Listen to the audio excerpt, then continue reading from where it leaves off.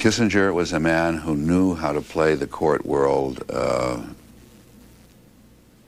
extremely well. I mean, the, the, he began as a um, he was discovered by ne Nelson Rockefeller when he'd been a Kissinger started as an academic. He was at Harvard, history professor, I believe, and then somehow he managed to get to Nelson Rockefeller, and and he provided Nelson Rockefeller with whatever theories.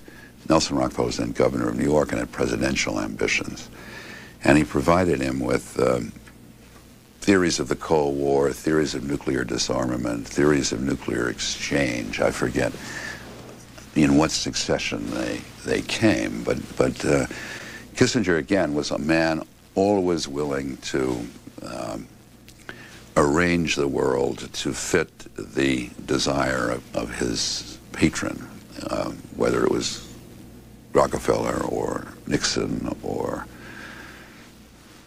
sometimes uh, important senior columnists in the media.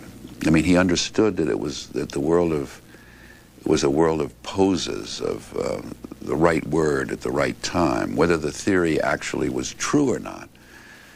Uh, whether it had any relation to the facts or not was less important than the way it advanced or failed to advance Kissinger's career.